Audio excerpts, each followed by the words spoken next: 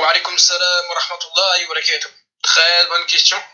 Et, euh, et magnifique livre, je vois dans lequel tu te plonges. Et magnifique passage. C'est le passage, je crois, de mémoire, le chapitre 4. Tout dépend comment ça a été référencé. L'appel à Allah. Je m'abuse, c'est ça?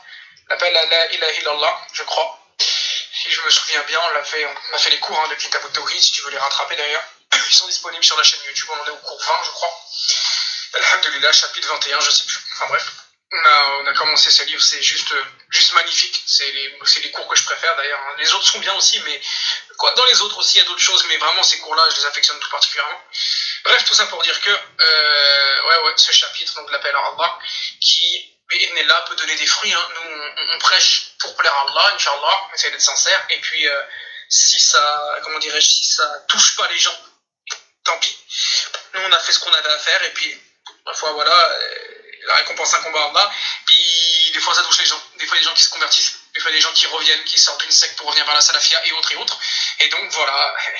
Bien sûr que le fait, comme dit le hadith, le fait qu'Allah guide un seul homme par ta cause, que dire de dizaines et dizaines, c'est meilleur pour toi que les chamelles rouges. Les chamelles rouges, je vais te faire très clair, c'est les, les Audi Q7, les Lamborghini Enzo, je sais plus quoi, Ferrari Enzo, les Lamborghini euh, Gallardo, les Hummer et les, euh, et Mercedes classe SS, je sais pas quoi, de, de l'époque. Les chamelles rouges, c'est les, gros véhicules de l'époque. C'est les plus. Euh, les, les, voilà, ils étaient très très prisés. C'était des. Voilà, les moyens, ils se déplaçaient à Dolce Chanel, c'était très très prisé, très très cher. Donc c'est les gros bolides de l'époque. Voilà. Donc, en gros, ça signifie, la parole du prophète qu'Allah guide une personne par ta cause. Donc quand tu fais le prêche, une personne embrasse l'islam, ou elle revient, ou tu lui enseignes une chose. En tout cas, alhamdoulilah, elle, elle adhère à l'islam par ta, par ta cause. C'est meilleur en fait que les parures de cette dunya. J'aurais trois Lamborghini en bas, c'est quelque chose. Tu vas dire, ah, dis donc, trois Lamborghini en bas, il rigole pas le garçon. bah, qu'il y a une personne qui embrasse l'islam par ma cause, que je lui explique et qui revienne à la voie droite, et bah c'est mieux que, ce que, que, j'aille un parking avec euh, Mercedes, BMW et, que ça, j'ai Audi et, Lamborghini et Ferrari. Voilà ce que ça signifie. Ouais.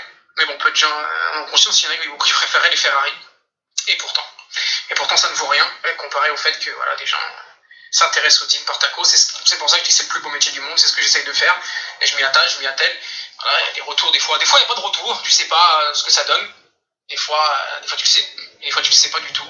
Tu le fais, tu attends, ta récompense d'Allah. Et des fois, Allah, je pense t'encourager, Allah je ne connais pas sa sagesse, subhanahu wa ta'ala, te montre quelques signes, quelques, encouragements euh, bah, des retours, des gens qui ont appris par ta cause, qui sont ceci, des convertis. Ça fait très chaud au cœur tout d'abord. Tu te dis, bah, alhamdoulilah, mon travail ne sert pas à rien. Et tu vois un peu les fruits de ton travail. Mais le but, c'est pas de chercher les fruits directement. Le but, c'est de plaire à Allah et de faire un bon prêche, sans chercher les fruits. Et parfois, les fruits te tombent sous les yeux comme ça. C'est bon. C'est super beau euh, de voir euh, quelqu'un qui, chemine alors qu'il était athée encore un an. Enfin, prêcheur, c'est le plus beau métier du monde, comme je le dis toujours, même si des fois, bah, financièrement, c'est difficile ou quoi c'est la dounia. Il faut savoir faire ça à part des choses. Voilà. Euh, se priver de choses de dounia. Être ridicule peut-être dans dounia, mais pour pouvoir faire voilà, des choses, des choses intéressantes dans le din, quoi.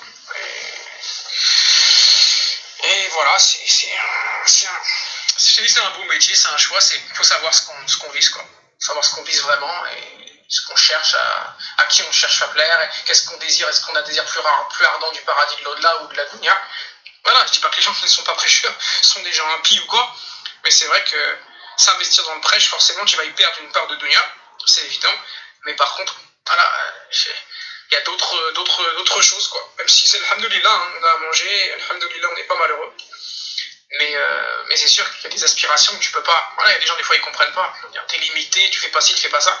Mais moi, je, je vise la récompense de, de, mieux que ce que j'avais sur un parking avec tous les véhicules de luxe qu'on connaît. C'est ça que je vise, moi. Mais le problème, c'est que les gens aujourd'hui, ils jugent pas avec ça. Ils jugent pas avec l'au-delà, ils jugent avec la dunya. Donc forcément, ils vont dire T'es pauvre, t'as rien. Moi, je fais, Inch'Allah, voilà, je fais mon effort. On, on essaie de faire la pauvreté quand même, mais là, bien sûr. Mais euh, de donner du temps dans cette voie, déjà ça me ravit, je suis vraiment apaisé et content quand j'essaie de faire ces efforts-là. Pour moi, je suis convaincu que c'est le meilleur métier du monde. Et puis, et puis voilà, on verra la suite quoi. On verra quand tout ça, toute cette dunya sera fini et éteinte. On verra, Inch'Allah, qui avait le meilleur métier au final. Voilà, Allahu A'lam.